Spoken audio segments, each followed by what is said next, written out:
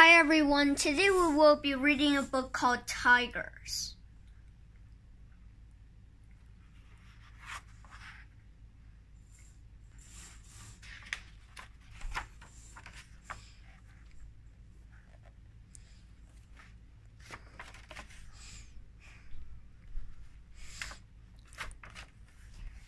The Devil in the Forest. At the edge of a dense mangrove swamp, Three nervous men are cutting firewood. One of the men stands watch, staring intently into the sun-dappled forest. The other two men gather bundles of wood. They will use the wood that night to cook rice and lentils for their supper. Just a few dozen meters away, hidden in the shadows, a 100 50 kilogram female Bengal tiger watches them through large honey colored eyes. She is hungry too, but the, but the tigress does not dream of rice and lentils. She dreams of meat. This is the Sundarbans, 10,000 square kilometers of mangrove swamp and thick forest on the border of India and Bangladesh. It is one of the last great tiger habitats. Humans are not a favorite food of tigers. The tigers watching the woodcutters will prefer to catch a chital or a wild pig. Humans are unpredictable and dangerous. They make strange noises and they carry weapons. The tigers will not attack unless one of the men wanders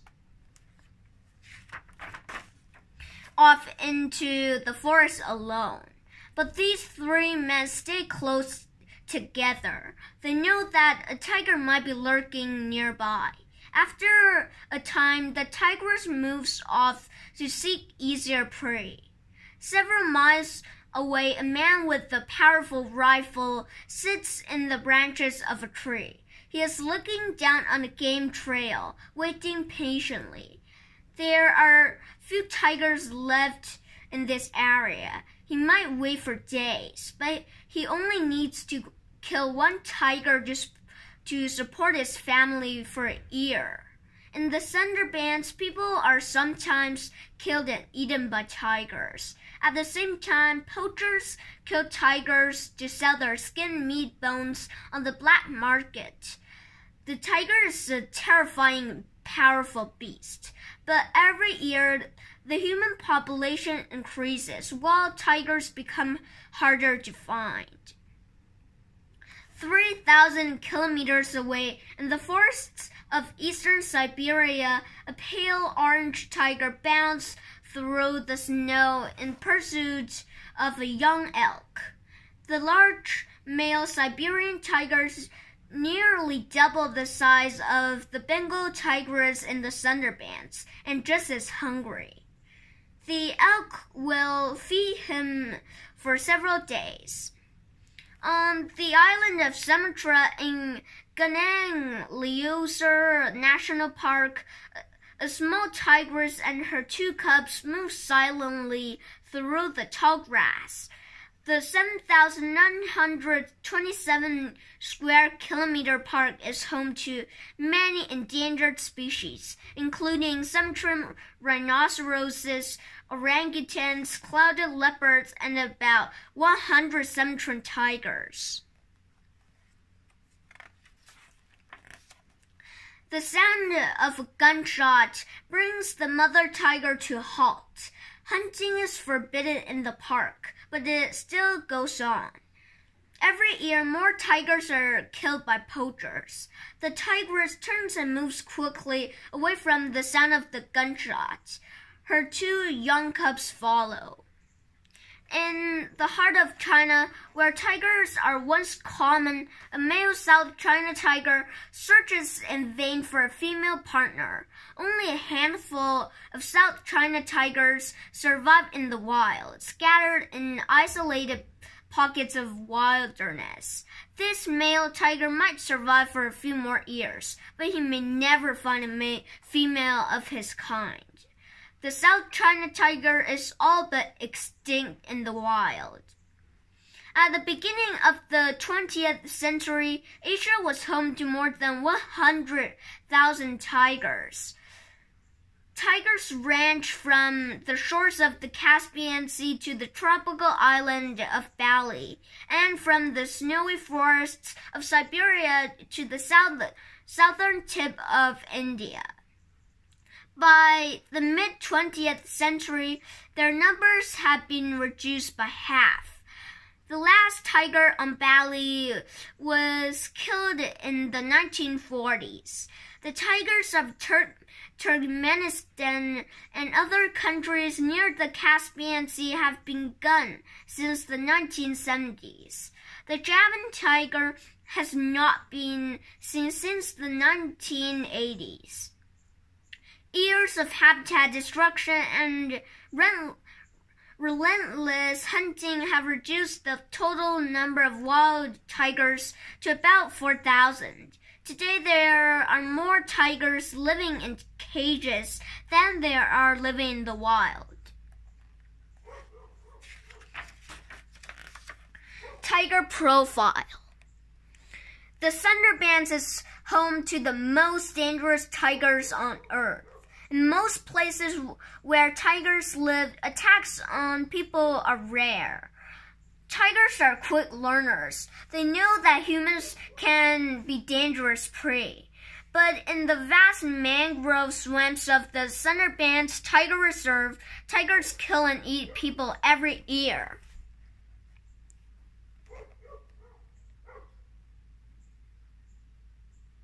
Some years, more than 100 people have been killed by tigers. Why are tigers of the Sundarbans so aggressive? Some say it is because the water is salty, making the tigers irritable. Others say that the behavior is learned.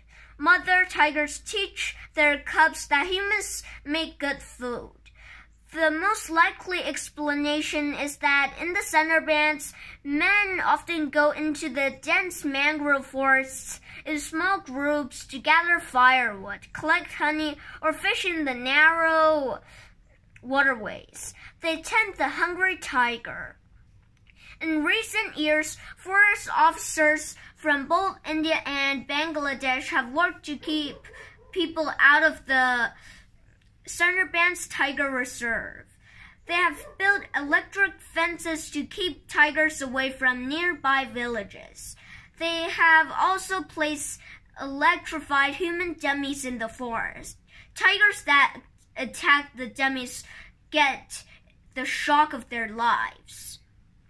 The number of attacks in the Sundarbans has dropped to only a few per year. The people who live in the region are learning to live with the tiger. Perhaps the tigers are lear learning too.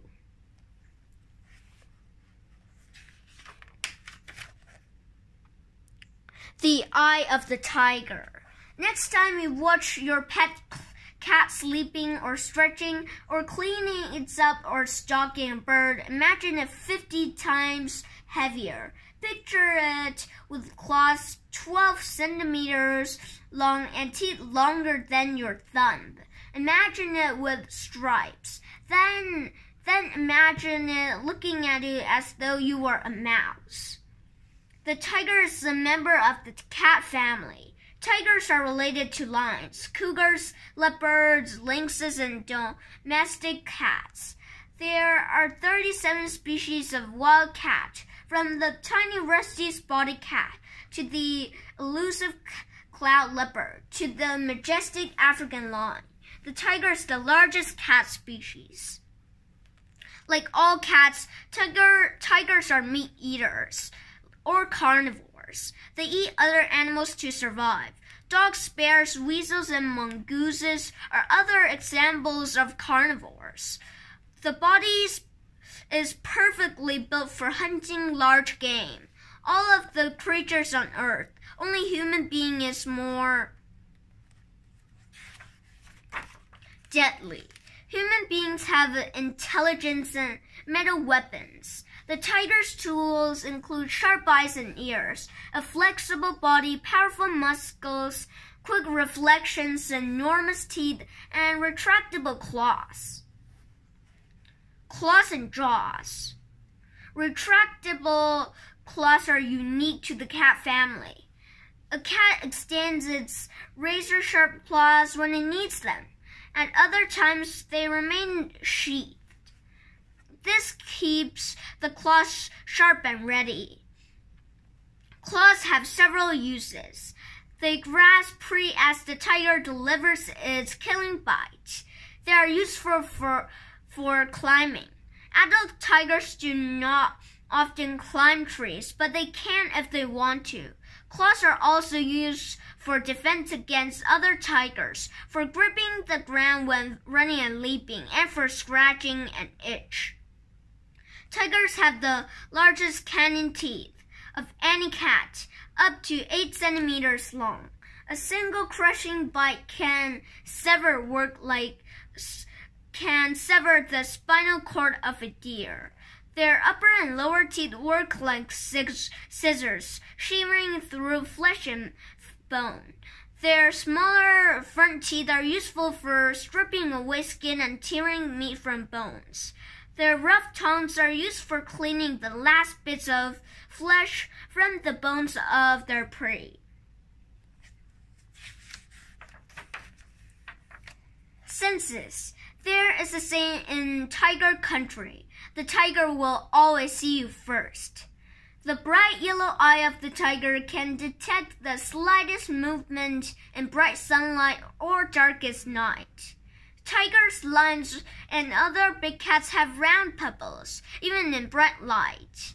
Small cats such as domestic cats, ocelots, and bobcats have vertical slit-shaped pupils.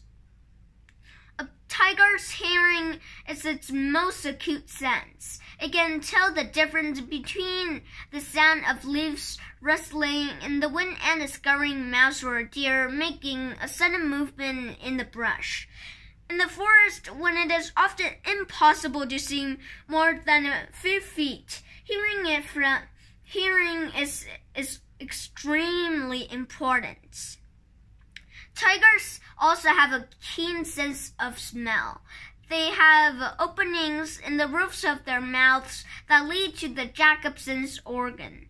This organ helps the tiger identify interesting or unusual odors. Whiskers are long, stiff, highly sensitive hairs that help the tiger feel its way through, through dense brush. All cats have whiskers. Tiger whiskers grow on their cheeks, muzzle, eyebrows, and even the backs of their front legs. Coat and tail. The striped coat of the tiger is its most striking feature. When you see a tiger in a zoo, the, the black striped rusty orange coat stands out. How could such a brightly colored animal sneak up on wild prey? A, tiger's stripes help it blend into its natural surroundings. A tiger in the wild can be almost invisible.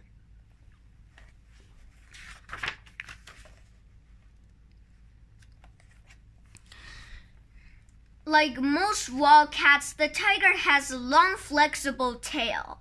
Tiger tails measure more than one meter long. Tails help tigers balance when running or climbing. They are also used to communicate with other tigers. A slowly swishing tail held high as a friendly greeting, while a low twitching tail shows anger. The next time you meet a tiger, remember that. Making a living. What does a 250 kilogram tiger eat for dinner?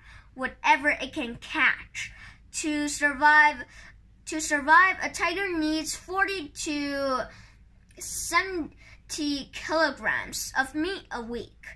You might think that with those claws and teeth and powerful muscles, it would be easy for a tiger to catch its dinner, but in the wild, it is not so easy.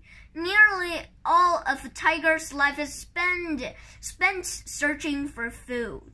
When hunting, the tiger must stalk to within 15 to 20 meters of its prey before exploding into action.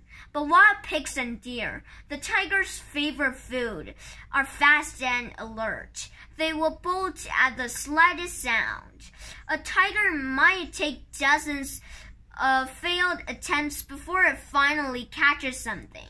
Tigers killed by delivering a single bite to the neck. Their powerful jaws and sharp cannon teeth slice throat bone and muscle to cut the spinal cord.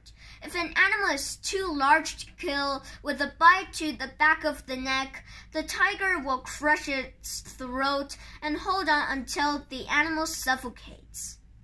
A successful hunt means that the tiger will eat well for the next two or three days. The tiger will remain near its kill, eating and sleeping until all the meat, entrails, and small bones have been devoured. Then the hunt begins again. When the when food is scarce, Tigers will go after smaller game such as peacocks, monkeys, lizards, and even crabs. When they can, they, they will kill larger animals such as baby elephants or baby rhinoceroses. On the island of Sumatra, tigers have been known to attack orangutans. Being the biggest and mostly deadly beast in the forest is no guarantee of a meal. Tigers that are unable to hunt their usual prey will sometimes go after cattle, sheep, and humans. In desperate times, a hungry tiger will even eat grass and berries. In the wild, tigers can that tigers that reach ad, adulthood live only 10 to 15 years. One common cause of death is from injuries received while hunting. A tiger with a broken tooth or a fractured leg cannot hunt, and a tiger that cannot hunt will eventually starve to death. Most cats don't like to get wet, but tigers love the water. In tropical areas where temperatures can reach 50 Celsius, tigers hit the beach. A refreshing dip in in a lake or river helps the tiger stay cool. Tigers have another reason to stay near water. Animals of all kinds are attracted to water. Tigers often lurk nearby, hiding in the underbrush. When a deer or another animal wanders close, the tiger will launch itself from cover and chase its prey right into the water.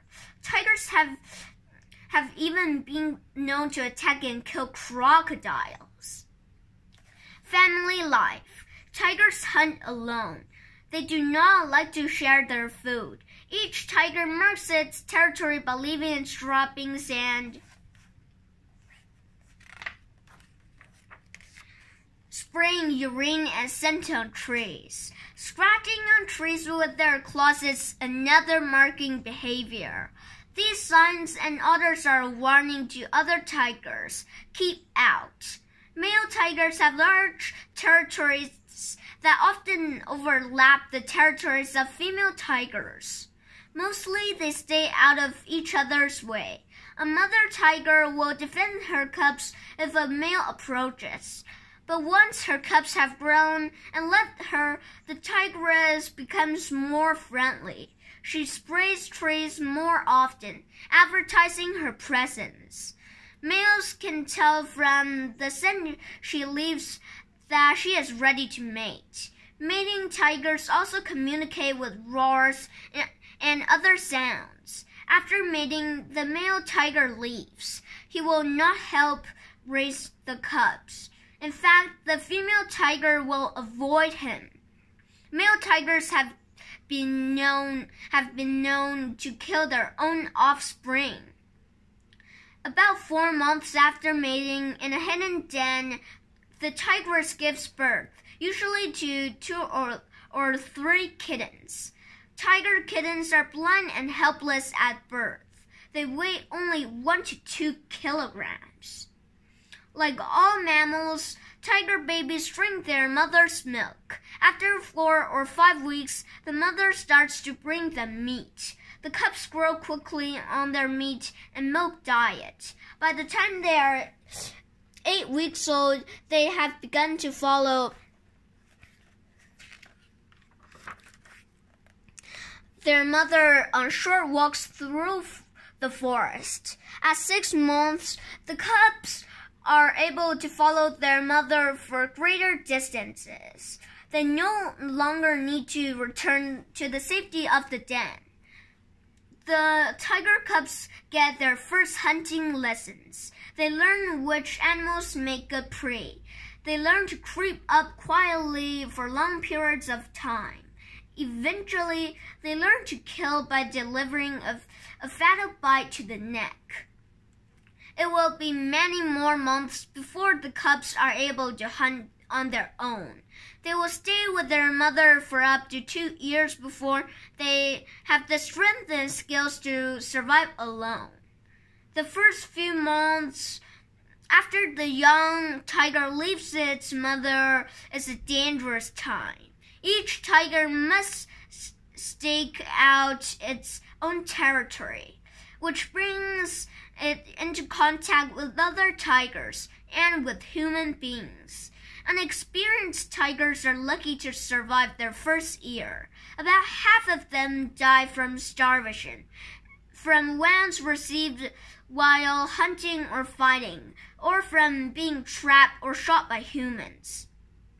Those that do survive will go on to find mates, reproduce, and become an ancestor to future tigers, and so the cycle continues. Tiger types. There are five living varieties or subspecies of tiger. The Siberian tiger, Panthera tigris altaica, is the largest of the tigers. A male Siberian tiger can weigh more than 250 kilograms and, and measures 3 meters from its nose to the tip of its tail. Siberian tigers have a long, thick, light orange coat. About about 350 of these magnificent cats live in the remote forests of eastern Siberia. A few may still survive in North Korea and northern China. Scientists believe that tigers evolved to the snowy forests of the north. Siberian tigers are probably this probably very similar to those original tigers. Slowly, over many tens of thousands of years, tigers migrated south and adapted to new, warmer environments. The most common tiger subspecies is the Bengal tiger, Panthera tigris tigris. About 3,500 Bengal tigers live in India, Nepal, and Bangladesh. Bengal tigers are slightly smaller than their Siberian cousins, and their fur is a darker shade of orange. Farther east, in the forest, uh, forests of Southeast Asia, lives the Indo Indo-Chinese tiger, Panthera tigris corbetti. These tigers are slightly smaller than the Bengal tiger, but they are still plenty big. Males can weigh up to 200 kilograms. They are dark reddish orange with narrow stripes that sometimes break up into short dashes. About 1,000 Indo-Chinese tigers are believed to live in scattered pockets of Thailand, Cambodia, Myanmar, Laos, Vietnam, and Malaysia. The South China tiger, Panthera tigris amoyensis, is the rarest surviving tiger. Fewer than 20 are believed to live in the shrinking patches of forest in southern China. About 50 are living in zoos. Until 1979, this cat was hunted continuously. Today, only with only a few South China tigers left in the wild, the Chinese government plans to set aside millions of acres of forest as tiger preserves. They hope to bring and reintroduce tigers to their native habitat. On the Indonesian island of Sumatra lives the fifth and most unusual tiger subspecies, the Sumatran the Sumatran tiger, Panthera tigris sumatrae. Sumatran tigers are the smallest of the tigers, weighing 90 to 120 kilograms. Their coat is dark reddish orange with many narrow, closely spaced stripes. They have long facial hair and a ruff of fur around their neck, giving them a distinctive look. Sumatran tigers are known as excellent swimmers. Their large paws have webbing have webbing between the toes, which helps them move quickly through the water. Confined to seven small parks on the island of Sumatra, these small graceful tigers may soon follow their close relatives, the Javan and Bali tigers, to extinction the past, the present, and the future. For most of human history, tigers have been regarded as dangerous pests. Wherever people and tigers came into contact, two things were sure to happen. Tigers killed people, and people killed tigers. It was a contest that the tiger could not hope to win. A century ago, as many as 100,000 tigers roamed free in Asia. But as human populations grew, the forests were cut down to grow crops. Tigers lost more of their habitat with each passing year.